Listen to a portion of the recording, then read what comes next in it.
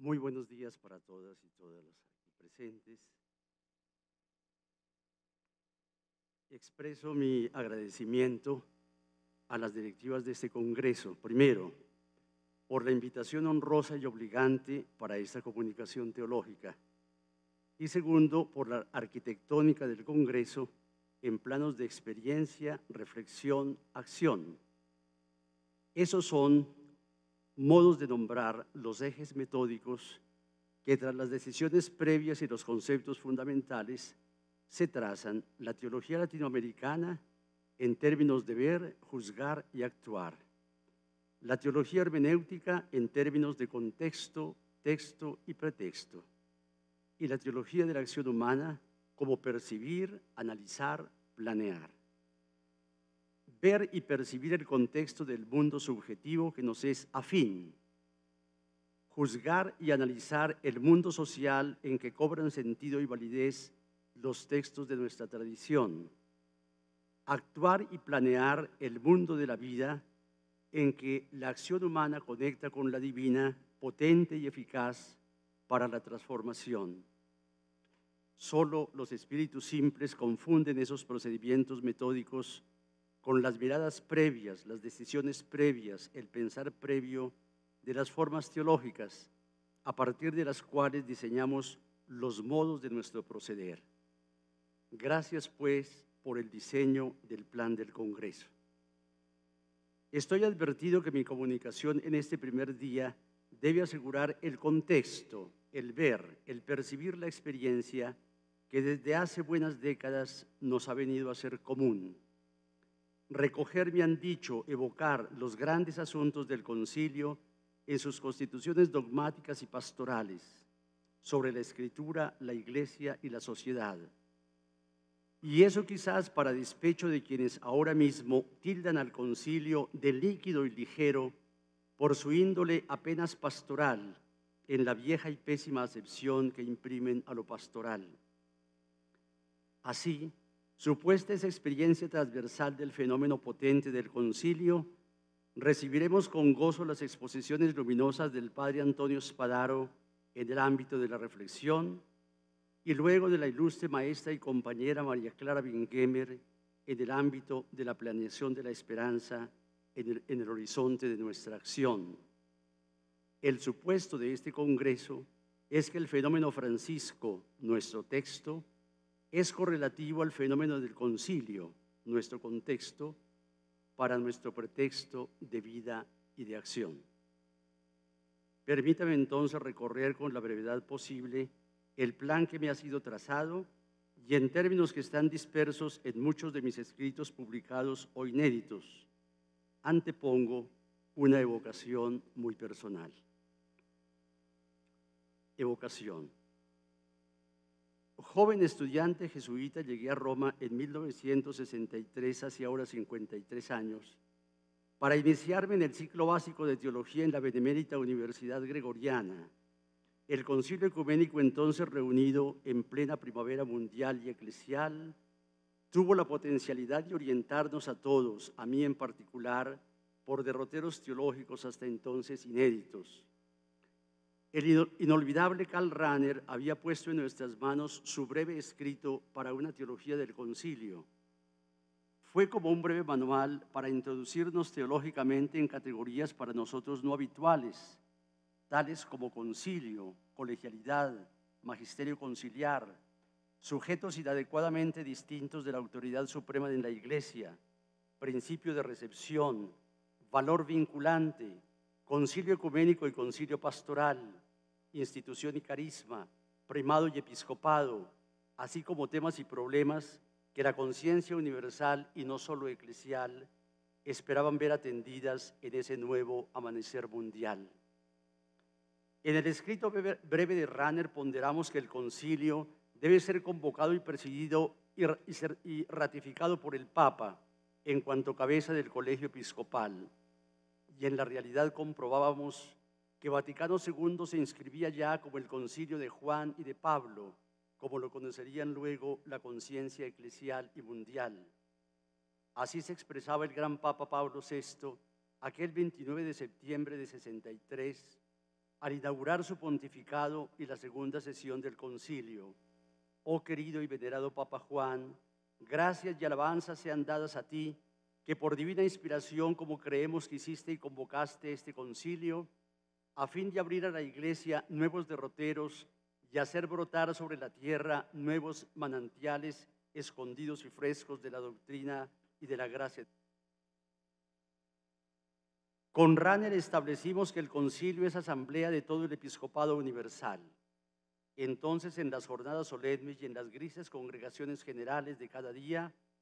nos fuimos acostumbrando a la proximidad deliberante y sabia de figuras eximias de aquel episcopado mundial como Alfred y König, como Bea y Swinens, como Lercaro, Tisserand y Frins.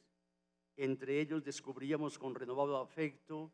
a esos padres de América Latina, Larraín y Cámara, Lord Scheider y Ars, eh,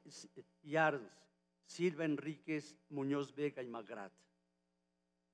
Karl Rahner, en el escrito referido, estableció la relación indisoluble del magisterio con la teología, incluso para prever que la precaria condición de la teología preconciliar no podía augurar conclusiones conciliares mayores a las premisas. Decía Ranner, sería darse a un optimismo injustificado, a una insensación recíproca, si se quisiera afirmar seriamente que la teología de hoy tiene ese arranque rigurosamente científico y también carismático que haría sus declaraciones realmente tan convincentes y tan a la medida del tiempo como debiera y pudiera ser si es que la palabra de Dios y la verdad de Cristo son la salvación de todos los tiempos tan anhelosamente buscada.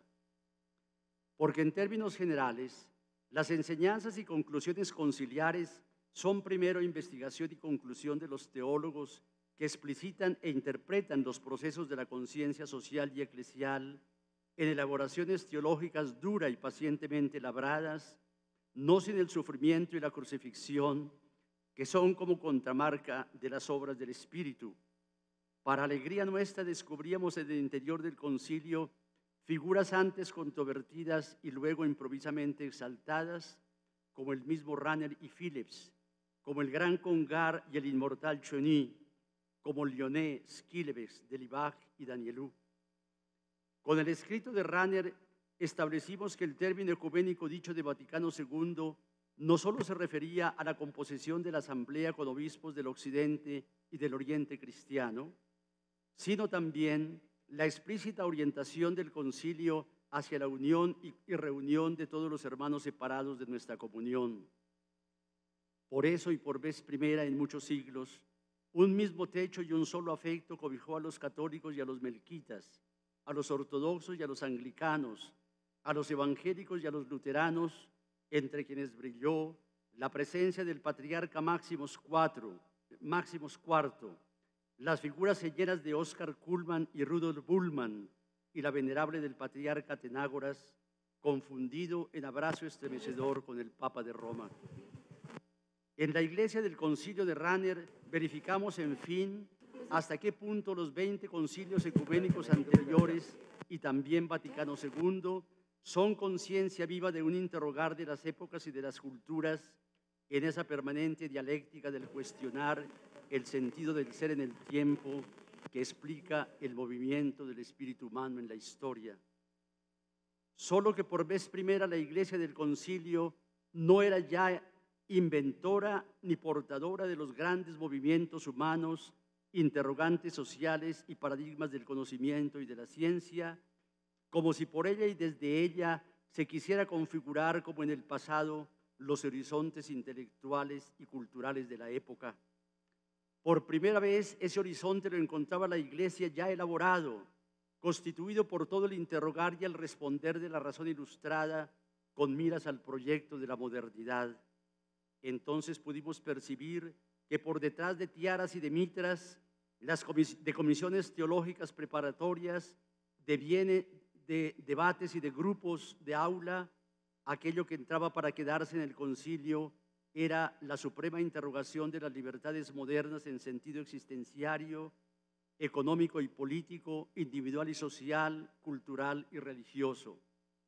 El concilio no se reunía por vez primera en la historia de los concilios para dirimir herejías o controversias, sino para leer un contexto de profanidad, de secularidad, de difundido ateísmo real o por lo menos metódico, por el cual la modernidad alcanzó su mayoría de edad como si Dios no existiera. Lejos de ser sujeto de la modernidad, la iglesia de las comisiones preparatorias del concilio era de modo manifiesto la iglesia de la premodernidad objetiva del pensar metafísico y escolástico, doctrinal y dogmático. La usual ontoteología que estableció en Dios el valor y la entidad teónoma y teocrática, no autónoma ni secular, de los procesos históricos y de los modelos de organización y de relación, encorvaba los hombros de la Iglesia bajo el peso descomunal de la controversia antimodernista, de la rotunda afirmación monogenista, de la diferencia general respecto de las autonomías de ciencia y de conciencia, de método de investigación, de pensamiento y de expresión, de organización ciudadana y de libertades sociales, de democracia y religión, de tradición y de cultura, libertades todas ellas, médula espinal del proyecto de la modernidad. Se diría que del cenáculo conciliar cuyas puertas algunos trancaron por temor a los judíos, en virtud del hálito permanente e incontenible del espíritu en, la historia, saldría una iglesia de Pentecostés lanzada sin reatos ni miedos a la sociedad secular de la que ella en días nebulosos abjuró y se apartó. Todo Pentecostés real significa para la iglesia la conciencia de de su destinación secular y de su inserción en la glosolaria de los lenguajes antropológicos y sociales de los pueblos, ya no partos, medas y elamitas, sino germanos y eslavos, sajones y afros, latinoamericanos y asiáticos. La modernidad conciliar Gaudium et Spes. No hay aquí para qué ponerme a demostrar la evidencia ni establecer balances de textos, eh, de lugares, veces y modos en que el mundo de la modernidad penetró y se quedó en el concilio, especialmente en la Constitución Gaudium et Spes, el trabajado esquema 13 sobre la iglesia del mundo contemporáneo. Algo diferente no cabía esperar, desde que en el exordio mismo de la alocución inaugural del concilio, aquel 11 de octubre de 62, el hombre enviado por Dios, cuyo nombre era Juan, trabó de modo indisoluble la razón de ser del concilio, decía él, con las exigencias y posibilidades de la época moderna, con el examen sabio y profundo de las condiciones modernas de la fe. Es que decía el Papa, hay profetas de desgracias quienes en la época moderna no ven otra cosa que prevaricación y ruina, cuando en verdad en el presente estado de cosas en el cual parece apreciarse un nuevo orden de relaciones humanas, es preciso reconocer el arcano designio de la providencia divina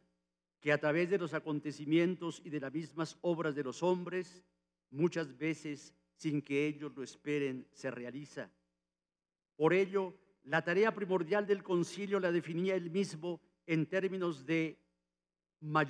mirar al presente, considerando las nuevas condiciones y formas de vida introducidas en el mundo moderno, sin permanecer indiferentes ante el progreso admirable de los descubrimientos del ingenio humano porque si continuaba, si la tarea principal del concilio fuera discutir uno u otro artículo de la doctrina fundamental de la Iglesia, repitiendo de algún modo las enseñanzas y lugares de los teólogos antiguos y modernos, para eso no se necesitaría un concilio. Por el contrario, se trataba de dar, decía él, un paso adelante hacia la profundización doctrinal y una fundamentación de las conciencias que esté en correspondencia más perfecta con los métodos de la investigación y con la expresión que exigen los métodos actuales. A su vez, el nuevo Papa Pablo VI, en la inauguración de su pontificado y de la segunda sesión del concilio,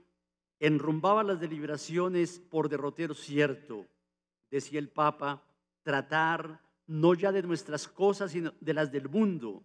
entablar el diálogo ya no entre nosotros, sino con el mundo, pues la iglesia, asomada a la ventana del concilio, mira a los hombres de la cultura, a los estudiosos y científicos, a los artistas, y de estos tiene una grandísima estima y un grandísimo deseo de recibir sus experiencias, de fomentar su pensamiento, de defender su libertad, de ensanchar gozosamente las fronteras de su espíritu inquieto en las esferas luminosas de la palabra y de la gracia divina. Con tales inauguraciones, el balance final del concilio en el discurso de clausura, aquel imborrable 7 de diciembre de 65, lo expresaba Pablo VI así. La religión de Dios que se ha hecho hombre se ha encontrado con la religión del hombre que se hace Dios. ¿Qué ha sucedido? ¿Un choque? ¿Una lucha? ¿Una condenación? Podría haberse dado, pero no se produjo. La antigua historia del samaritano ha sido la pauta de la espiritualidad del concilio. Una simpatía inmensa lo ha penetrado todo. El descubrimiento de las necesidades humanas que son tanto mayores cuanto más grande se hace el Hijo de la Tierra, ha absorbido la atención de nuestro sínodo. Vosotros los humanistas modernos que renunciáis a la trascendencia de las cosas supremas, conferidle siquiera este mérito y reconoced nuestro nuevo humanismo. También nosotros, y más que nadie, somos promotores del hombre. Y concluía con una frase lapidaria para la iglesia, para la teología y para la humanidad. El valor humano del concilio ha desviado acaso la mente del concilio hacia la dirección antropocéntrica de la cultura moderna? Desviado no, vuelto sí. A esta luz se percibe la hondura con que el concilio en el proemio de su constitución Gaudium et traza los rasgos del método genuino de la, de la comprensión teológica. La constitución pastoral, escribe el mismo concilio, la constitución pastoral sobre la iglesia en el mundo contemporáneo aunque consta de dos partes, tiene una intrínseca unidad. Se llama constitución pastoral porque cimentada en principios doctrinales, quiere expresar la actitud de la iglesia ante el mundo y el hombre contemporáneos. Por ello, ni en la primera parte falta intención pastoral, ni en su segunda la intención doctrinal. En la primera parte la iglesia expone sin reservas la situación del hombre en el mundo en que el hombre está inserto y de su propia actitud ante ambos. En la segunda considera con mayor detenimiento diversos aspectos de la vida y de la sociedad actual y particularmente ciertas cuestiones y problemas hoy más urgentes. Ello aduce que en la segunda parte la materia, aunque sujeta a principios doctrinales, conste no sólo de elementos permanentes y doctrinales, sino sobre todo de los contingentes. Así procedía el concilio en su teología, como una lectura creyente del acontecer del hombre y del mundo. Es la famosa cuestio tomista, bajo la óptica de Dios y de su plan de gracia y de salvación. Es la lección tomista, que constituyen el objeto material y formal de toda genuina teología, como enseñan las fuentes. Texto y contexto en reciprocidad indisoluble en el misterio del verbo que se hace carne y de la carne histórica que se hace verbo. Solo desde ese método que es hondamente teológico porque es hondamente contingente y vital, nos es dado valorar en la Constitución Gozo y Esperanza la verdad y el sentido del hombre del mundo contemporáneo, de la iglesia y la vocación del hombre, de la comunidad humana, de la actividad humana en el mundo, de la misión de la iglesia en el mundo contemporáneo, de la dignidad del matrimonio y la familia, del fenómeno del progreso cultural, de la vida económico-social, de la vida de la comunidad política, de la comunidad de los pueblos y del fomento de la paz. Esos elementos fundamentales de la secularidad y de la modernidad ni se liquidan ni se, ni se empequeñecen frente a Dios que se revela. Por el contrario, adquieren toda su entidad, su valor y autonomía, como lo consagró el concilio en pasaje inmortal que proclama en lenguaje simple el modo en que el misterio inaudito se hace mundo y el mundo, el universo, es presencia sin límites de Dios con nosotros. Si por autonomía, dice el concilio, si por autonomía de la realidad terrena se quiere decir que las cosas creadas y la sociedad misma gozan de propias leyes y valores que el hombre ha de descubrir, emplear y respetar paulatinamente, es absolutamente legítima esa exigencia de autonomía.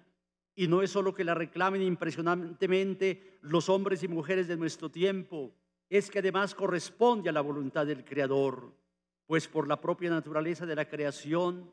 todas las cosas están dotadas de entidad, de verdad, de bondad propia, de un propio orden regulado que el hombre debe respetar con el reconocimiento de la metodología particular de cada ciencia o arte. Por ello, la investigación metódica en todos los campos del saber, si está realizada de una forma auténticamente científica y conforme a las normas morales, nunca será contraria a la fe, porque las realidades seculares y las de la fe tienen su origen en un mismo Dios. Más aún, quien con perseverancia y humildad se esfuerza por penetrar en los secretos de la realidad, está llevado aún sin saberlo como por la mano de Dios, quien sustentando todas las cosas, da a todas el ser, sustenta a todas ellas en su bondad, en su entidad, en su belleza. Son a este respecto de lamentar ciertas actitudes que por no comprender bien el sentido de la legítima autonomía del orden secular, no han faltado algunas voces entre los propios cristianos que seguidas de agrias polémicas inducen a muchos a establecer una oposición entre la ciencia y la fe. Y porque eso es así, al término podría, pueden verificarse los grandes e, e innegociables autonomías que el concilio señala no únicamente porque constituyan reclamo legítimo de la conciencia moderna, sino porque responden a la voluntad del Creador, dignidad de la conciencia rectamente formada y de sus libres decisiones, incluso en materia religiosa, autonomía de los fieles para sus legítimas opciones, autonomía de los valores entre los que se cuentan el estudio de las ciencias y la, eh, exacta fidelidad a la verdad en las investigaciones científicas, la necesidad de trabajar en equipos técnicos, el sentido de la solidaridad, internacional, la conciencia cada vez más intensa de la responsabilidad de los científicos para la ayuda y protección de los hombres, la determinación de lograr condiciones de vida más aceptables para todos y especialmente para quienes están marginados y padecen pobreza cultural, justa libertad y legítima autonomía para que las artes y las disciplinas gocen de sus propios principios y de su propio método, cada uno en su propio campo, autonomía legítima de la cultura y especialmente de las ciencias, autonomía de las ciencias que investigan las disposiciones naturales de la persona humana, sus problemas, sus esfuerzos por conocerse mejor y por superarse, que se interesan por descubrir la situación del hombre en la historia y en el universo, autonomía de los métodos teológicos y de las exigencias internas de la ciencia sagrada, y para que puedan llevarse a término su tarea, debe reconocerse a los fieles clérigos y laicos la debida libertad de, investigación y de pensamiento y de hacer conocer humilde pero valerosamente su manera de ver en el campo de su competencia, legítima pluralidad de las opiniones temporales discrepantes que exige respetar a los ciudadanos que incluso en grupos o partidos políticos defienden lealmente su manera de ver. Asistía plena razón al Papa Pablo VI al preguntarse y responderse todo esto y cuanto podríamos aún decir sobre el valor humano del concilio, ¿ha desviado acaso la mente de la Iglesia en concilio hacia la dirección de la cultura antropocéntrica de hoy? Desviado no, vuelto sí. El concilio trazó una sabia interacción entre elementos mudables y contingentes del ser en el mundo y de estar en el mundo con el horizonte referencial de la tradición y de la fe, y es eso lo que el concilio enuncia como entidad pastoral y valor pastoral de nuestra deliberación intelectual y espiritual. Todo menos que autorreferencia y autoconstrucción. Todo menos que involución de la iglesia en ella misma. Todo menos que hacer girar el mundo en la iglesia. Por eso, la proyección permanente del concilio no debe resolverse hoy en una acomodaticia aplicación del entonces de los textos al hoy de nuestro contexto, sino en la revisión creativa de la misma dinámica del concilio que en forma permanente junte a la iglesia y el evangelio con el caminar inexorable de la sociedad en la temporalidad de la historicidad mudable y contingente. Porque la ratificación de la modernidad que acogió el concilio y la crítica indispensable hoy de esa misma modernidad no arrebata a hombres y mujeres, a pueblos situados por fuera o más acá de la modernidad, el derecho y el deber de toda época y generación de ser ella misma autónoma y responsablemente, más allá de paradigmas, de modelos y estilos anteriores que resulten presumiblemente estrechos para las nuevas experiencias, las nuevas lógicas, el nuevo arte, la nueva moda, las nuevas metas de libertad, las nuevas pobrezas y las nuevas liberaciones. El siglo avanzado y el milenio comenzado reclaman el derecho a la identidad y a la diferencia con que puedan liberarse de la tenebrosa repetición de la parálisis en lo ya dicho, sabido y experimentado en etapas anteriores de la humanidad, por importantes que hayan sido.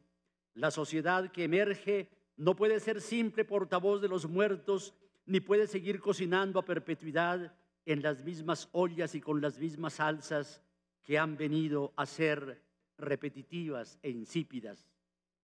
Solo que la memoria guardará agradecida la sentencia casi sacramental que ha venido a ser como la marca registrada del concilio, sentencia teológica y teologal que antes que a los pobres honra a la iglesia y al concilio los gozos y las esperanzas, las tristezas y las angustias de los hombres de nuestro tiempo, sobre todo de los pobres y de cuantos sufren, son a la vez gozos y esperanzas, tristezas y angustias de los discípulos de Cristo. No hay nada verdaderamente humano que no encuentre eco en su corazón. La memoria dirá que el contexto de ese texto fue la condición humana de pueblos enteros sometidos y dominados por un modelo de economía y de sociedad que se derrumbaría dos años después, pero cuya tragedia económica y social empobreció y frustró enteros conglomerados humanos del este de Europa y de Asia. El otro reguero de víctimas empobrecidas era y es el resultado macabro de otro modelo económico y social que galopa a sus anchas por la América nuestra y hoy como entonces trabaja por la globalización de su siniestra hegemonía. Pero importó menos al concilio y nada importa hoy la identidad ideológica de los victimarios si las víctimas son las mismas, abundantes y crecientes. El pobre y la pobreza de las deliberaciones conciliares marcaron hasta el fondo las opciones sociales y eclesiales de las décadas 70 y 80 del siglo pasado así como se constituyeron en fuente de inspiración y de obediencia y de programa para la teología latinoamericana. Lo que sobrevino después para nuestras iglesias y para nuestra teología ya está desconsoladamente contado. Solo que sigue siendo rotunda la sorpresiva verdad en labios de Juan Pablo II, que inaceptable es la afirmación de que la derrota del socialismo deje al capitalismo como único modelo de organización económica. La crisis del marxismo no elimina en el mundo las situaciones de injusticia y de opresión existentes de, las que se alimentaba el marxismo instrumentalizándolas. De todo ello resulta que el oscurecimiento del binomio iglesia-sociedad no es hoy tan perjudicial para la sociedad como atroz para la iglesia que en el concilio, al decir de Pablo VI, no perdió, sino que recuperó su rumbo. La vuelta al camino del hombre que transitó el concilio resulta ser el único camino de la iglesia, como afirmó el mismo Juan Pablo II. Decía él, el hombre en plena verdad de su existencia, de su ser personal y a la vez de su ser comunitario y social, es el primer camino que la iglesia tiene que recorrer en el cumplimiento de su misión. Es el camino primero y fundamental de la iglesia, camino que se cruza con la vía misma de Cristo, con la encarnación y con la redención. Son buenas premisas para ser concretadas en nuevas antropologías, nuevas sexualidades, nuevas feminidades y masculinidades, nuevas pobrezas, nuevas religiosidades, nuevas culturas, nuevos y alternativos métodos de economía y de sociedad, nuevas sensibilidades posmodernas. El gran movimiento de cambio en la sociedad, lo que menos demanda de la iglesia es el atrincheramiento y el repliegue, la diferencia y la sordina. Le exige más bien una resignificación del creer y del vivir, y en grado no menor de lucidez, de simpatía, de comprensión y de síntesis vital que fue paradigmática en la gran asamblea conciliar que abrió las puertas y ventanas para que entrara aire fresco y renovara a la iglesia y a la sociedad. La circularidad eclesial.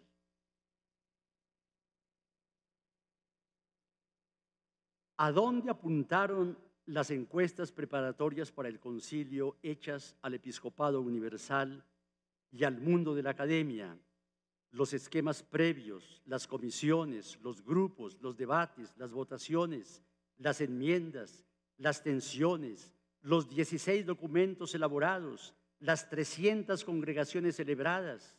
las tres sesiones realizadas, los 2.500 padres conciliares, los dos papas inspiradores, los observadores de otras confesiones y religiones, la expectativa mundial en aquella primavera eclesial y social de los años 60. La respuesta es una y única hacia una nueva forma de ser iglesia, en una nueva forma de ser sociedad. Las actas del primer periodo del concilio registraron la inspirada intervención del cardenal Suinens, arzobispo de Manilas, Bruselas, orientada a asegurarse el cauce eclesiológico para los ulteriores desarrollos del concilio. Quisiera, decía el cardenal en su intervención, quisiera proponer que el concilio sea el concilio de eclesia y que tenga dos partes, de eclesia ad intra y de eclesia ad extra. Me explico. Lo primero que tenemos que decir es qué es la iglesia como misterio de Cristo viviente en su cuerpo místico cuál sea la verdadera naturaleza de la iglesia, preguntamos a la iglesia, ¿qué dices de ti misma? Declarada la noción de iglesia, se expondría cómo debe actuar la iglesia en la sociedad contemporánea. Unas páginas adelante, las actas del concilio registraron la intervención del cardenal Montini, arzobispo de Milán. Estoy en pleno acuerdo con quienes en las congregaciones generales afirmaron que la cuestión de eclesia es el tema primario de este concilio, ya por la importancia del tema, ya porque la mayor parte de los temas restantes se vinculan y se relacionan con él. Entonces fue apenas natural que meses después, puesto al frente de la Iglesia Universal, el Papa Montini, en la inauguración de la segunda sesión, de, en la inauguración de la segunda sesión, señalara con términos el horizonte eclesiológico del concilio, porque, decía él, después de 20 siglos de cristianismo y del gran desarrollo histórico y geográfico de la Iglesia Católica, el concepto verdadero, profundo y completo de Iglesia tiene todavía necesidad de ser enunciado con más exactitud. Es mezquino afirmar que fueron importantes los concilios cristológicos con sus derivados trinitarios y mariológicos, o los concilios sacramentológicos y teológicos sobre justificación y reforma, pero que es menos importante y casi ligero el concilio eclesiológico Vaticano II porque no definió dogmas ni enfrentó herejes. En su luminosa entidad, Vaticano II se conocerá en la historia como lo que fue el gran concilio de Eclesia, Por eso mismo, del concilio eclesiológico se ha dicho, no sin malicia y sin recelo, que fue paneclesiológico. El sentido peyorativo de monotemático quizás es una demasía, pero constituye una gran verdad que la constitución dogmática Lumen Gentium es la sinfonía que para gloria de Dios y honor de la Iglesia integra y unifica todos los grandes temas conciliares. El modo eclesial de recibir con amor y de comprender con nueva lucidez la divina revelación. El servicio divino de la liturgia de la Iglesia convocada y reunida para el culto de su Señor. El ser, el vivir y el actuar de la Iglesia en el proyecto humano de la modernidad. El ser sacramental y el misterio pastoral de los obispos puestos por el Espíritu Santo para regir la iglesia, la misión de los presbíteros en la formidable misión de la iglesia, los consejos evangélicos vividos en la santidad de la vida religiosa, expresión preciosa de la santidad de toda la iglesia, el estatuto sacramental del Estado laical, su sacerdocio, su profetismo, su regir las estructuras de justicia y de paz en el, horizonte del reinado de Dios en la historia, la venerable antigüedad de las tradiciones y patrimonio espiritual de las entrañables iglesias orientales, la renovada conciencia de la iglesia acerca de su misión y destino para anunciar el gozo del Evangelio, la urgencia apremiante de restablecer la unión de toda la ecumene discipular tras los días amargos de las incomprensiones y de las divisiones, la presencia de multitud de elementos de amor, de gracia, de verdad y de santidad en las religiones no cristianas, la proclamación eclesial del derecho humano de creer con libertad y de profesar en la vida lo que confiesan los labios, la indeclinable tarea eclesial de la educación en escuelas y universidades, casas de la ciencia y templos de la sabiduría, la formación renovada e ilustrada de todos los futuros ministros de la Iglesia, la significación de los medios modernos de comunicación respecto a la Iglesia del Verbo. Toda una sinfonía, toda una circularidad de elementos convocados, llamados, reunidos como la misma Iglesia, toda una construcción arquitectónica de partes del todo y del todo de las partes. Ahora bien, los planos geométricos son buenos aliados de los sociólogos cuando tratan de caracterizar los modos o los modelos que asumen los conglomerados humanos para relacionarse entre ellos, sea que se trate del grupo, de la congregación o de la agremiación, o de la empresa o de la nación o del Estado o de todas las demás posibles formas asociativas. Los modelos monárquicos se comprenden siempre en planos geométricos piramidales los democráticos en planos circulares. Por lo que respecta al modo relacional de la Iglesia, tanto en su propio interior como en su relación con la sociedad, es usual también el recurso geométrico con que se caracteriza el diseño de iglesia piramidal y de iglesia, de, iglesia circular, con el correspondiente registro de distinción y de anacronismo que genera la primera y con el suelo, el sueño y el anhelo que despierta la segunda, porque ella, la iglesia secularmente piramidal en su larga historia, es la que debe girar, es la que debe migrar al diseño circular de su primera inspiración y constitución, así la dificultad para lograrlo descorazone tanto como la invencible antinomia de la cuadratura del círculo, y así los factores que originaron y mantienen la pirámide histórica resulten tan poco analizados o tan abiertamente preservados y fervorosamente reforzados. Porque en efecto no podrá la Iglesia pasar al diseño circular tan propio hoy de las sociedades igualitarias y participativas, sino a condición de identificar para resistir los factores históricos y teológicos que condujeron y que mantienen operante una geometría piramidal en el diseño social asimétrico y primitivista. Este no es lugar para levantar la memoria de las causas impersonales y motivaciones intencionales que originaron la pirámide eclesial más ciclopia y perenne que las pirámides de Egipto. Nos basta simplemente hacer memoria de la constitución dogmática Lumen Gentium y al ritmo de sus diseños evocar o por lo menos imaginar las lúgubres figuras piramidales que trató de superar el concilio para que eso que sucedió nunca jamás se repita. Así, en el pórtico de entrada a la constitución dogmática Lumen Gentium, sobre el ser y la naturaleza íntima de la iglesia, quedará esculpido con letras de espíritu que ella, la iglesia, es en Cristo una señal y un instrumento de la plena y radical comunión con Dios y de la común unidad de todo el género humano. Y comunidad y comunión, como lo recibe el concilio de la escuela eslavófila de Komiakov y de Afanisiev, de Bulgakov y de Sankov, indican inclusión recíproca de las personas, circularidad, participación espiritual y social, política y cultural, que puedan desatar formas de vida humana diferentes a las que fueran propias de la secular pirámide premoderna, objetivada, impersonal, no igualitaria, no participativa y fraterna.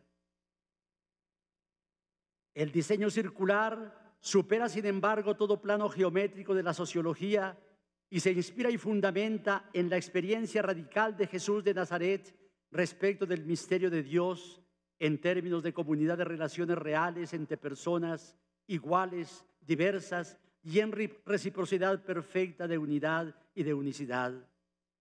Para gloria de la raza humana, la circularidad de la comunión entre personas y la comunidad que de ahí procede tiene como quicio y fundamento el ser mismo de Dios, que dentro de sí admite el yo, el tú y el nosotros, la comunidad, no la soledad, el diálogo, no el monólogo, la circularidad, no la piramidalidad. Entonces la iglesia misma, como toda la humanidad, volvió a ser la multitud convocada y reunida por la unidad del Padre y del Hijo y del Espíritu. Semejante relación circular y recíproca exigió al concilio unir sin confundir el plano de la salvación con el plano de la creación,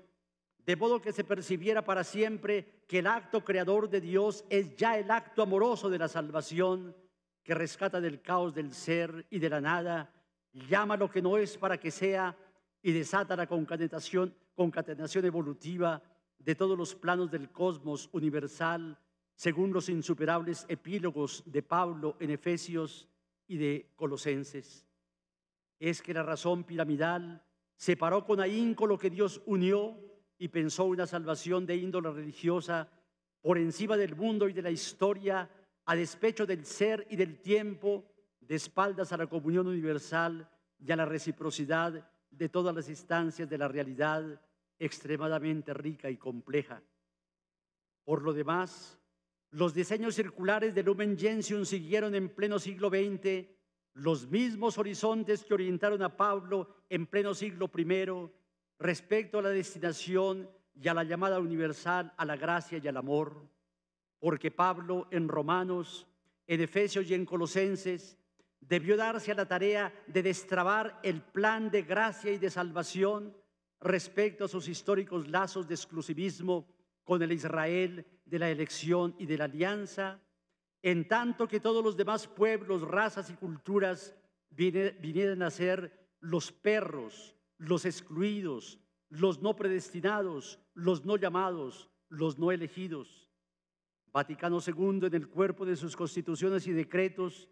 debió destrabar y liberar el amor de Dios y su gracia universal respecto del nuevo exclusivismo que se acuñó en la célebre fórmula, fuera de la iglesia no hay salvación. La fórmula posiblemente no se invalida si las fronteras de la iglesia se amplían hasta el círculo universal total e indiscriminado al que Pablo las conduce. Cristo es el Cristo es la cabeza del cuerpo de la iglesia, pero iglesia llamada, convocada y reunida es toda la realidad cósmica y humana visible e invisible, de arriba y de abajo, terrestre y celeste, y la totalidad plenaria de toda la humanidad creada por Él, redimida por Él numéricamente con la sangre de su cruz. El universalismo cristiano de Pablo al que se refiere con tanta gallardía Alain Badiou se redita hoy en el universalismo conciliar de Vaticano II respecto del destino universal de todo hombre, mujer, a la gracia y al amor,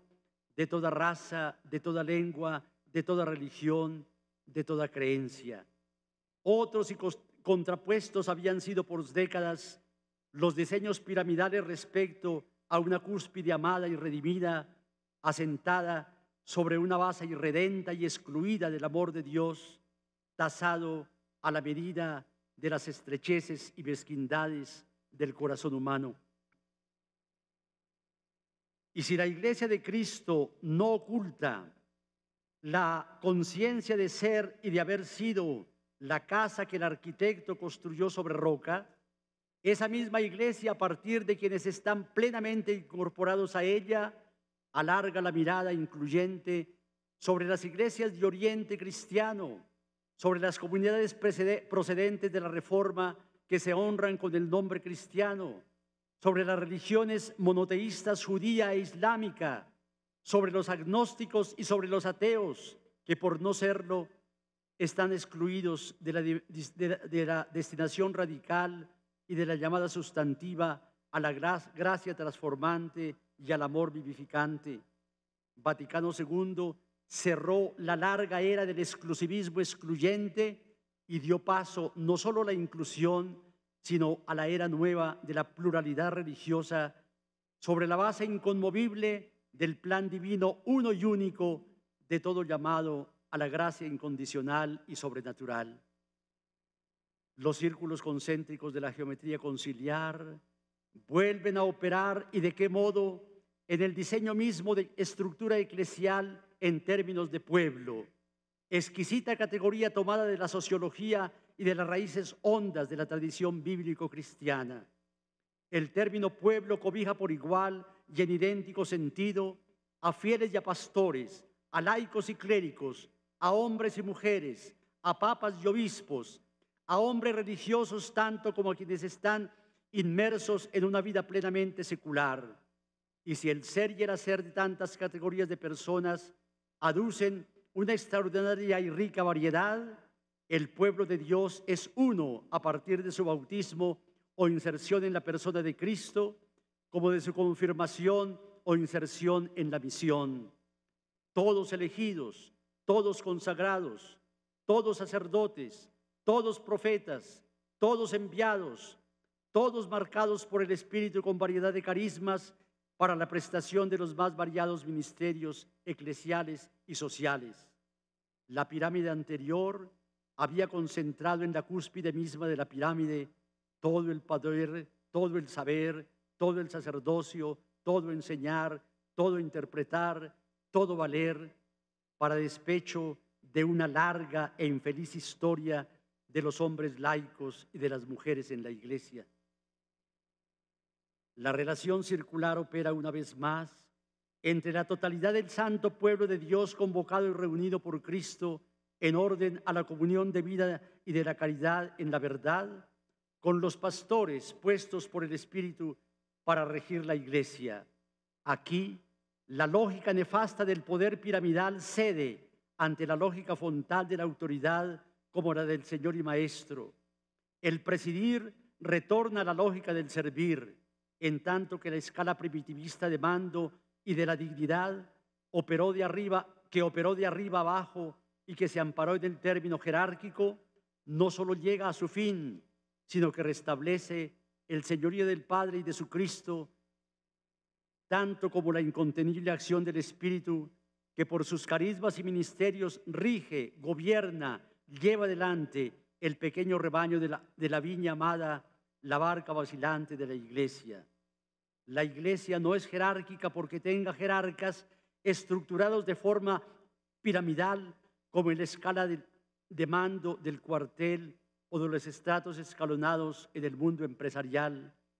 Toda la estructura eclesial es jerárquica, no monárquica ni tampoco democrática, sino regida y gobernada por la más impresionante red de idoneidades y de carismas de ministerios con la marca inequívoca del carisma de los pastores para apacentar y regir la iglesia. La estética de la circularidad opera además entre esos de la plena inserción y pertenencia a específicos lugares antropológicos, culturales y sociales de la humanidad, con un diseño de iglesia universal originado a partir de las iglesias particulares como un sistema de comunión orgánica precedida en la caridad por la antigua y venerable Iglesia de Roma. El modelo de iglesias locales, bajo la conducción amorosa de un obispo en cada una,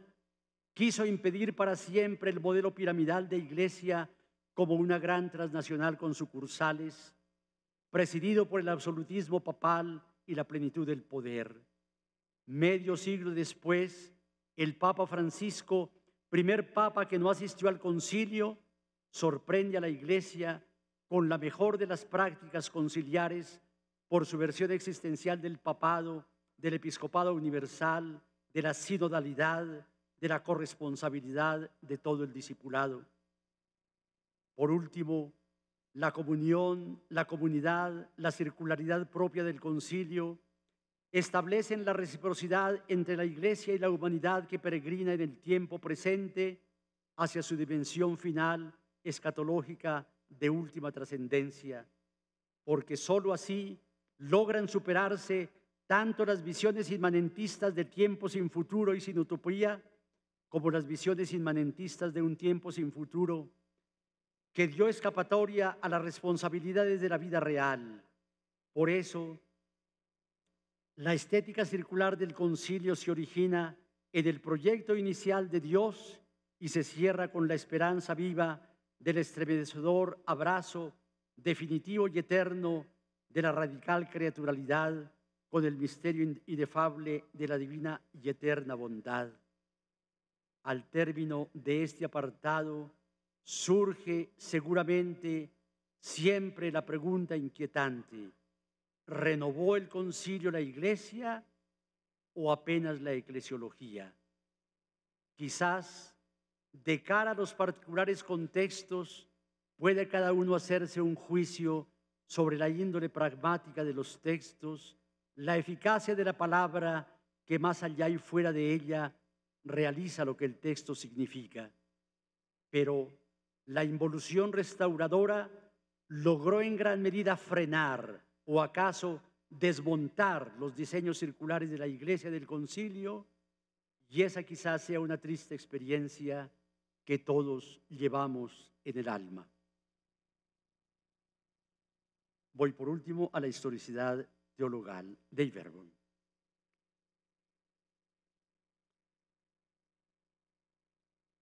Vaticano II, tanto por el lugar de encuentro como por la conexión de materias, significó una relación secuencial con el Concilio Vaticano I, suspendido precipitadamente por la inminencia de la toma de Roma en la guerra franco-prusiana y la reunificación de Italia. Los proyectados esquemas de iglesia en Vaticano I no sirvieron más que para una constitución centrada con exclusividad en elementos relativos al privado romano, como si se tratara de el paso necesario para la definición dogmática sobre la infalibilidad del Papa, acosado por la pérdida de los estados pontificios. Sobre ese trasfondo brilla con tanta luz Vaticano II y los planos de circularidad que hemos acabado de enumerar en la Constitución eh, Lumen Gentium. La otra conexión interna de los dos concilios vaticanos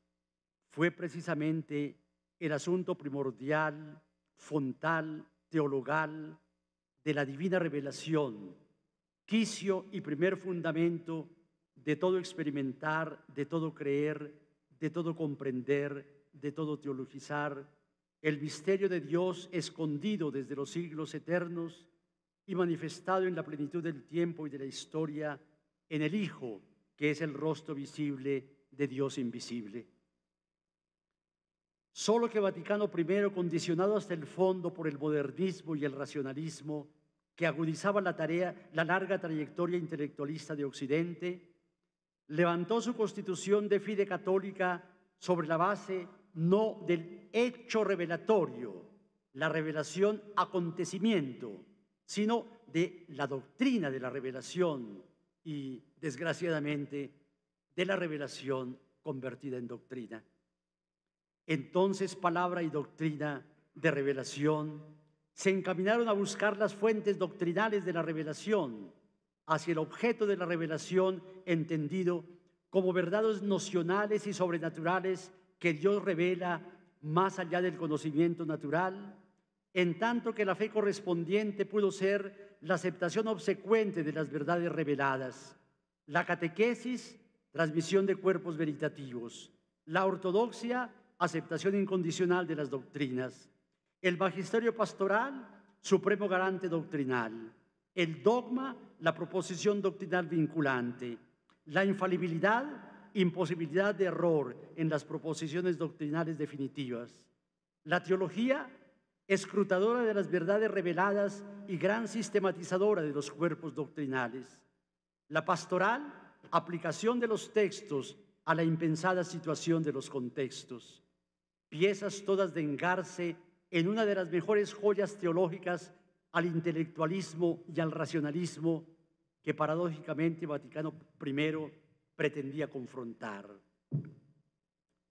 Podemos entonces explicarnos la gestación singularmente dramática de la, constitución, dogmática Dei Verbum sobre divina revelación en el Concilio Vaticano II.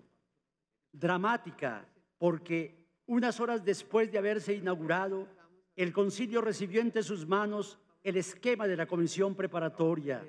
esquema curial, orientado con fervor hacia las denominadas fuentes de la revelación, supuestamente constituidas por la Sagrada Escritura y por la tradición. Gestación dramática que requirió la intervención directa y personal del Papa Juan, no solo para lograr retirar del aula conciliar ese esquema preparatorio, sino sobre todo para asegurar hacia adelante la libre y plena intelectual y magisterial libertad del concilio. Este apartado de mi intervención debe destacar aquí la suprema intención magisterial y dogmática del concilio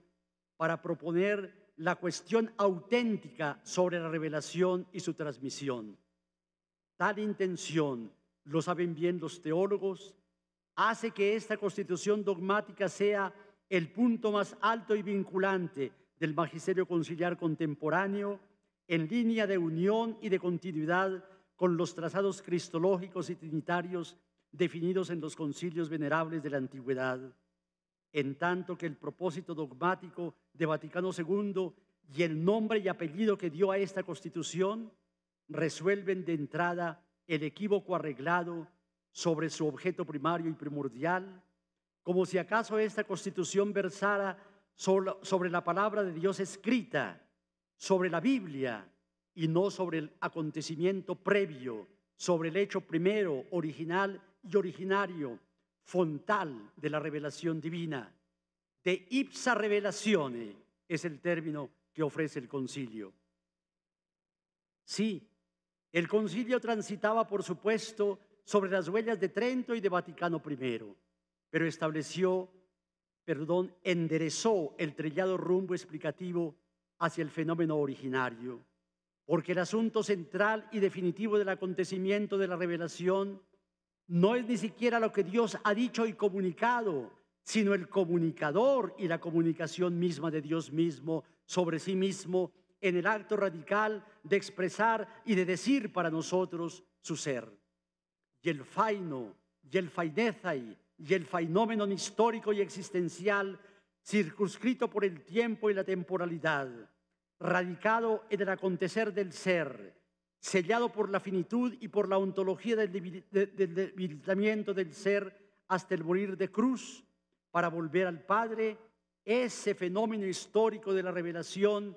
tiene un nombre sobre todo nombre, Jesús, autor y consumador de la revelación histórica del misterio de Dios para nosotros. Esa es la índole radicalmente histórica de la revelación porque es cristológica y es radicalmente cristológica precisamente porque es revelación histórica. entonces Dei Verbum, con el paso atrás que va de la doctrina de la revelación al hecho originario de la revelación, desata una comprensión luminosa de la historicidad teologal y esa historicidad es la que fundamenta, claro, el modo mismo de la revelación que acontece por hechos de la historia,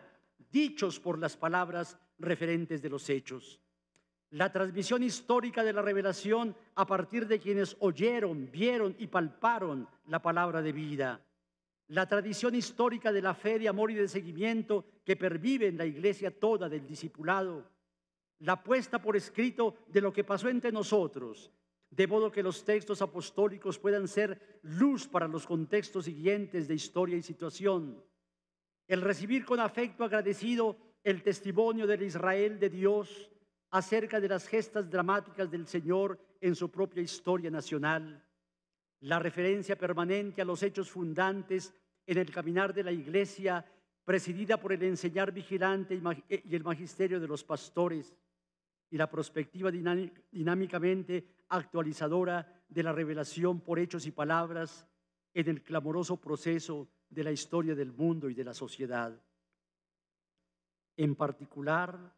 la palabra viva de la escritura de los dos testamentos y la palabra viviente de la gran tradición judeocristiana, con toda su entidad y grandeza, constituyen decires del hacer clamoroso de Dios que irrumpe por gracia en la historia, transformada por Dios mismo en historia de salvación y entonces en historia de revelación. La escritura que nace en la tradición y que expresa y alienta esa misma tradición es testimonio de lo que ha sucedido, de lo que ha acontecido, de lo que ha pasado, de lo que vimos, oímos, palpamos y testificamos. Porque la zona del suceder es siempre previa a la zona del decir como el acontecer de la historia es previo a su narración. Dei Verbum conecta en efecto con la entrañable tradición a la que pertenecemos todos nosotros, en que la divina revelación, antes que cósmica, es histórica, antes que ética intimista, es interpelación pública, antes que palabras escuetas, es soporte de los hechos, antes que zona de interpretar, es zona de suceder antes que lenguaje gramatical, semántico o semiótico, es palabra práctica en su origen y en su destino. Antes que monólogo lingüístico, es discurso entre hablantes y entre oyentes. Antes que logos indicativo, es dabar realizativo. Antes que terminar en lo sabido, tiene su terminación en el acto, en la acción, en la actuación, en la actividad, en la praxis, como lo mostraría el signo lingüístico que penetraba ya por puertas y ventanas al aula conciliar. Al presentar la última redacción de Dei Verbum, el relator conciliar subrayó el carácter sacramental de la revelación, puesto que la significación plena de las obras no se comprende sino por las palabras, es decir, por la palabra de Dios, la cual es a su vez ella misma un acontecimiento histórico. De ahí que ambas cosas, el suceso y la palabra interpretativa, pertenecen a la historia y por tanto la revelación de Dios en la historia no es ni una simple conexión de sucesos, ni un mero acontecer interpretativo,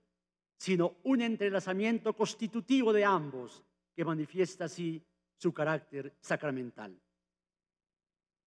Cristo Jesús,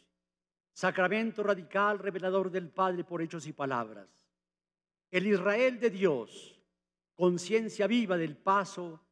de la divina presencia y de su acción incontenible en la historia nacional. Entonces, el suceso temporal al que se refiere la literatura de Antiguo y de Nuevo Testamento es historia sagrada, es historia de salvación, es historia de revelación la antecedente y la subsiguiente historia universal es historia de salvación en la que se escribe la divina revelación de Dios. La cordura de la constitución de Iberbun afirmará que Jesús el Señor es principio, medio y fin de la revelación, y que no debemos esperar otra revelación ni otra salvación bajo el cielo. La, la cordura del preguntar teológico afirma que la historia de la salvación a la que se refiere el concilio es coextensiva con la historia universal, jamás ajena a la acción divina incontenible y a la palabra de gracia que sale de su boca. Mirar a Dios presente en sus criaturas y buscar al amado por, por montes y por valles no es solo un arrebato místico de hombres y mujeres privilegiados, sino conciencia de su incontenible acción de salvación en la cosmosfera y en la biosfera, en la sosfera y en la nosfera, en la cristosfera y en la neumosfera, hasta el estadio final de la reinosfera y de la escatología postrera, cuando Cristo entregue el reino al Padre y Dios sea todo en todas las cosas. La convergencia permanente entre acontecer y palabra debería haber descartado hacia adelante la oposición y separación entre el Cristo confesado y el Jesús de los Evangelios, entre exégesis de textos y exégesis del acto de vida, entre sistematización de doctrinas y la urgencia del hospital de campaña, entre teologías de la palabra y teologías de la historia. La lógica del concilio respecto al fenómeno histórico de la revelación atemperó la tenebrosa vaciedad de las palabras sin los actos de vida de Dios y de los suyos. Y esa temporalidad, historia e historicidad de la revelación divina es ella misma la que lanza toda una recomprensión de la entidad misma del tiempo y de la historia, de la acción, del valor y sentido de la historicidad del ser, del conocer, del hacer, en los que acontece la mostración gratuita, incondicionada y misericordiosa de Dios al mundo. Termino diciendo que por eso la historicidad teologal del concilio en Dei Verbum condujo de la mano a la América nuestra a teologías de la praxis histórica relativas al proyecto de vida en los conglomerados sin límite del no ser, del no tener, del no poder, del no saber. El concilio inspiró las teologías políticas relativas al proyecto ilustrado de la modernidad. El concilio, al término del largo invierno eclesial que hemos vivido, reconduce hoy hacia la teología de la actividad humana en el mundo, según el inquietante capítulo tercero de la Constitución Gozo y Esperanza, y según el principio sacramental de su constitución del verbum, la divina revelación consiste en hechos de la historia interpretados por la palabra a lo largo de la historia de la salvación. Queridos congresistas, Vaticano II, memoria y profecía, la modernidad conciliar, la circularidad eclesial, la historicidad teologal. Tal es nuestro experimentar, ese es nuestro ver, ese es nuestro percibir. Este es el fenómeno que puede empatar y explicar el gran fenómeno Francisco en su iglesia. Muchas gracias.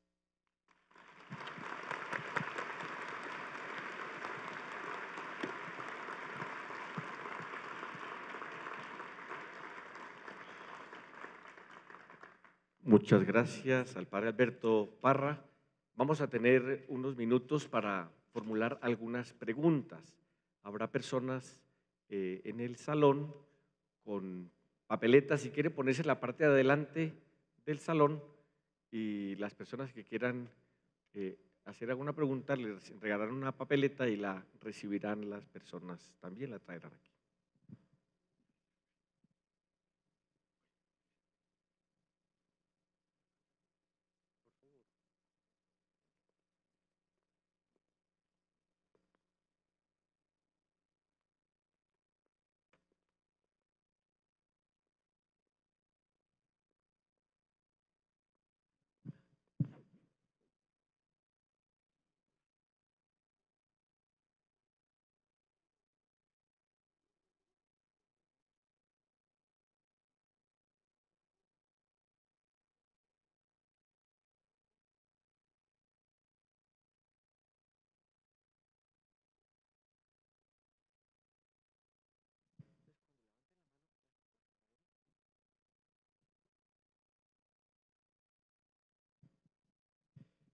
Para información después del el receso, que será entre las 10 de la mañana y las 10 y media.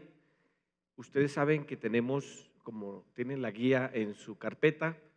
tres paneles simultáneamente. El primer panel sobre Biblia será en este auditorio, el segundo panel sobre iglesia será en el auditorio Félix Restrepo, que está en la zona norte de la universidad, cerca de la calle 45. Habrá personas orientando a los que no conozcan para llegar hasta allí. Son unos 10 minutos caminando. Y el tercer panel sobre sociedad, Gaudium et Spes, estará en el, en el auditorio Luis Carlos Galán, que está en la carrera séptima con calle 39, el edificio Giraldo, bajando directamente desde este edificio hacia la séptima. Entonces, Biblia aquí, iglesia en el Félix Restrepo y sociedad en el Galán. No tenemos determinado eh, a dónde va quién, cada uno y cada una debe seleccionar tienen la lista de los moderadores y de los panelistas invitados en, el guion del Congreso. Ustedes seleccionan y pueden ir directamente a esas aulas. En la tarde, después del mediodía, tendremos el inicio a las dos y media, también con tres mesas temáticas, en los mismos lugares con los mismos temas. Las mesas temáticas están construidas por personas que enviaron comunicaciones al Congreso y fueron aceptadas, seleccionadas entre varias que llegaron. Igual habrá una mesa temática sobre Biblia en este auditorio, la mesa temática sobre iglesia en el Félix Restrepo y la mesa temática sobre sociedad en el Galán. Y después a las cuatro regresamos todos aquí tenemos el refrigerio y a las cuatro y media el diálogo con los maestros, que va a ser aquí en este auditorio hasta las seis de la tarde. Entonces, preguntas.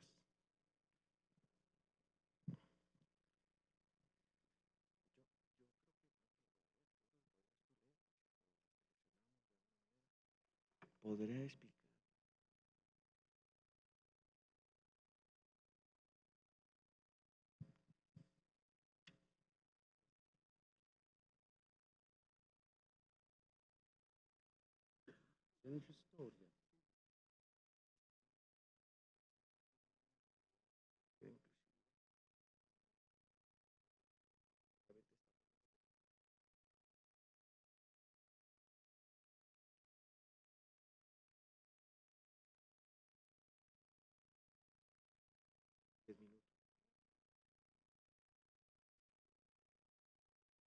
Vamos a tomar eh, las preguntas en la, sin ningún orden, sino voy tratando de responder. Eh, podría explicar la frase de Juan 23 sobre abrir las ventanas de la iglesia para que entre el aire. Sí, realmente, pues creo que en la misma eh, conversación dijimos precisamente eso. Si fuera para tratar de lo ya sabido, si fuera para revisar lo que dicen los teólogos, si fuera para revisar uno que otro artículo de la fe, para eso no se necesitaría un concilio, decía el Papa, sino que se trata precisamente es de abrir las ventanas de la iglesia, abrir las puertas de la iglesia a la razón moderna, al modelo moderno, a la estructura cultural y social y científica de la modernidad, abrirnos a eso, pensar ya no en nuestras cosas, decía el Papa siguiente, Pablo VI, sino pensar las cosas del mundo, pensar las cosas de la sociedad, más hermoso que esa, ese abrir las ventanas de la iglesia para que entre aire fresco, tal vez no se podía decir de una cosa más poética, pero más real. Y me parece que eso fue lo que hizo el concilio. Abrió sus puertas y yo sí creo que fue una iglesia ciertamente de la modernidad que sin reato ninguno no es que eh, le concedió a la cultura moderna, sino que ella se abrió a la cultura moderna De ahí la insistencia, permíteme la insistencia que he hecho como tres veces en mi texto escrito, eh, la frase de Pablo VI. La iglesia no es que mm, eh, admitió el pensar humano, volvió al pensar humano, de donde nunca ha debido apartarse, porque la iglesia pues tendrá que ser siempre, en toda época, pues el camino de la iglesia es el camino del hombre. Ayer y hoy, ayer y hoy.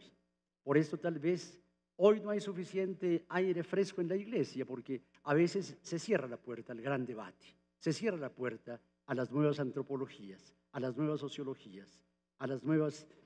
modelos de cultura. Se cierra, se cierra. Esto no, esto no. Por eso yo tal vez la forma es eh, no aplicar el concilio, los textos del concilio, que podrían ser inaplicables, sino reproducir realmente la misma dinámica del concilio de una iglesia abierta, de una iglesia con simpatía a lo que ocurre fuera de ella misma.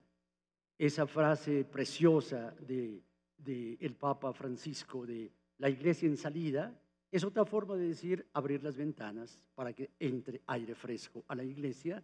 que es posible que eh, haya mm, adquirido también un ambiente pesado, un ambiente viciado después del concilio. Esta otra pregunta, eh, ¿cuál es el papel de la mujer en la estructura circular? Gracias. el papel de la mujer es todo, es, es absolutamente todo, es absolutamente todo, porque es que la forma circular de iglesia es todo el laicado de ellas y de ellas. Claro,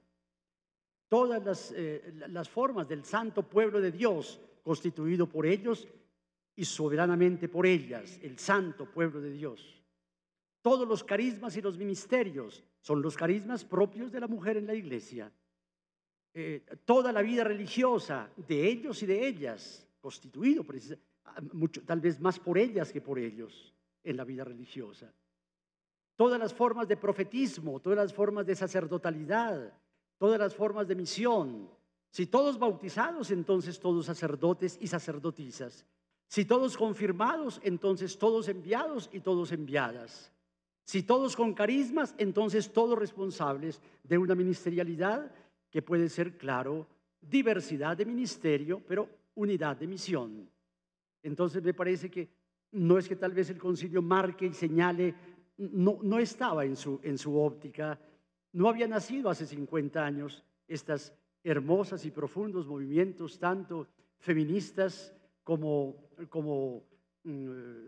eh, de mm, exigencia cada vez mayor de su autonomía y de su, eh, de su valer y de la refrendación de sus derechos. No había nacido, tal vez el concilio no hizo un documento especial sobre la mujer, no, no lo hizo, pero realmente es claro que está totalmente comprendido, ¿no?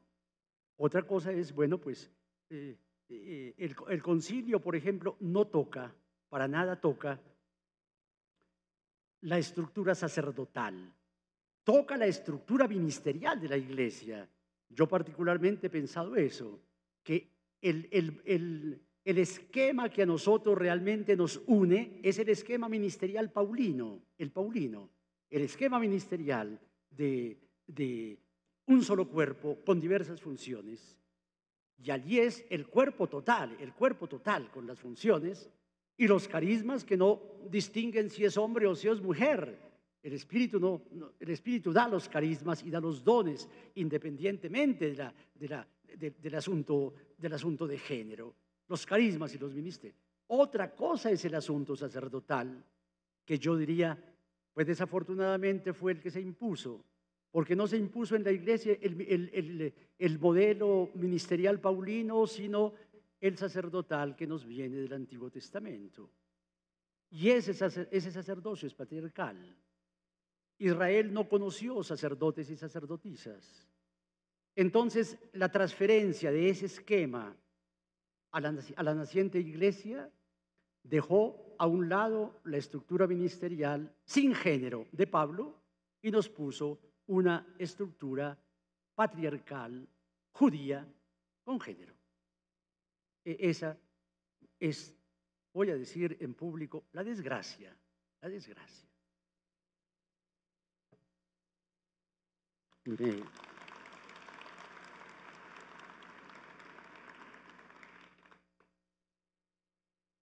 De la mano de Paul Ricoeur hace tantísimos años. Hice una investigación en Estrasburgo sobre la forma de interpretar los ministerios en la primera patrística, que fue precisamente tomar los ministerios y sacerdotalizarlos en el esquema judío. Eh, publiqué aquí en, en Colombia llegar un fruto de esa eh, investigación que se llamaba ustedes lo entienden hoy por el, por el título, sacerdotes de ayer, ministros de mañana. La forma sacerdotal tal vez debe evolucionar y es el ministerio. Bueno, pues, pues eh, fue tal vez mi primera salida de Don Quijote que me acarreó tantos males, tantos males, tantos males por decir precisamente eso que tal vez hoy digo con más tranquilidad, prevaleció el esquema sacerdotal sobre el esquema ministerial. El esquema realmente ecuménico paulino es el ministerial. Prevaleció por encima del asunto del esquema sacerdotal. Dios nos ampare.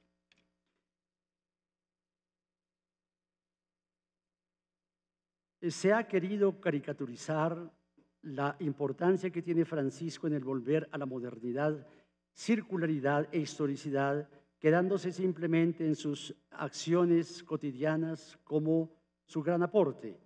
Cómo presentar la verdadera hondura que Francisco tiene eh, eh, mm, en, la variada catolicidad. Mira, yo sí creo que la, mm, perspectiva del concilio, que fue, perdón, de la perspectiva del Congreso, hacernos leer primero el concilio es precisamente para entender mejor al Papa Francisco. Yo creo que esa es la, dijéramos, la, la, pilatuna que nos hace el Congreso. Leamos primero el Congreso y después digamos quién es Francisco para poderlo referir realmente al concilio, para saber qué es lo que reclama el Papa, qué es lo que reclama con la circularidad, qué es lo que reclama con decir, pues usted me hace esa pregunta y yo, ¿quién soy para condenarlo? Que indica realmente algo a lo cual no estábamos acostumbrados, porque un papa que diga quién soy yo para condenarlo es algo que realmente alborota totalmente, pero ¿cómo es? Un papa que no sabe. Esa forma en la cual él se presenta, su forma franciscana, siendo un jesuita, su forma franciscana de ser,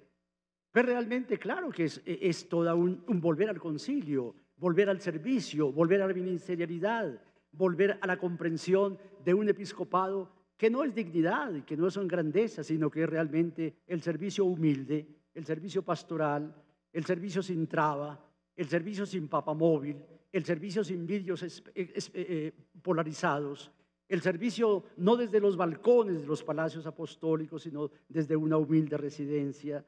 Todo eso me parece que son elementos que dicen mucho de la espiritualidad profunda del concilio y que el Papa, pues es un Papa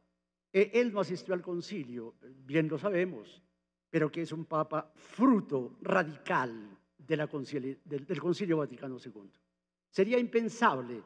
eh, comprender al papa sin comprender qué fue lo que pasó en el concilio. Eh, entonces, creo yo que es eso. Se ha querido caricaturizar la importancia que tiene el papa como si acaso fuera simplemente ciertos gesticos que hace, ciertas eh, cositas que dice de oler a oveja, de todo eso. Me parece que no, me parece que es la expresión completa del concilio. Un hombre que, Dios mío, si no hubiera llegado a donde llegó, hubiera sido un latinoamericano más que pasa como tantos pasamos, tantos latinoamericanos que pasamos, con el corazón encendido por el concilio, con el corazón encendido por la fe y por el amor, sin que nadie se dé cuenta. De este nos pudimos dar cuenta. Qué reserva la que había en ese hombre, con el cual había incluso muchos reparos, con, con, Bergoglio había muchos reparos, pero qué tesoro el que nosotros teníamos, que no lo habíamos podido ver todavía, no lo habíamos puesto todavía sobre el candelero. Concilio Vaticano II constituyó una intención de reformar la Iglesia Católica. Ha quedado más la reforma en las estructuras eclesiales que en la misma Iglesia. Mira, yo sí te- tengo esa- ese, ese presentimiento. Perdóneme que lo responda de una forma tan personal. Expliqué el asunto, el, el- el asunto de iglesia en mi facultad de teología durante cerca de 33 años en- enseñé iglesia y normalmente la, la sensación que yo tengo es Vaticano II es posible que haya reformado más la eclesiología que la iglesia. Y traté de explicar por qué. Porque una cosa es pensar, otra cosa es hacer. El concilio, pues claro, es un concilio que piensa y es un concilio que formula en palabras lo que piensa, pero no siempre las palabras tienen la eficacia de producir lo que ellas significan, primero. Y segundo, nosotros hemos tenido, después de Vaticano II, unos años bárbaros de involución y de invierno, en que realmente el concilio quedó por ser, por ser eh, mm, mm, por ser actuado sin que se haya podido actuar. ¿Cuántos años han pasado sin que el concilio realmente se haya podido actuar? Hay pasajes que no, por ahí están, en que el Papa, por ejemplo, los cardenales del, eh, de, de- de la, e- esos ocho que él nombró para que lo ayudaran en la reforma de la, de la curia romana, les dice, hay que aplicar la eclesiología del Concilio Vaticano II porque estamos 50 años atrasados en la aplicación del concilio. Esa es una conciencia viva de, ciertamente, más fue la elaboración, dijéramos, espiritual, intelectual del concilio, más que la, reforma propia de la iglesia. A mí personalmente muchos me dicen, pero es que tú quieres que en 50 años se haga una reforma de la iglesia, eso requiere mucho más tiempo. Ok, entonces me muero viendo desde lejos la tierra prometida, pero no puedo entrar en ella todavía. Muchísimas gracias al padre Alberto por su exposición.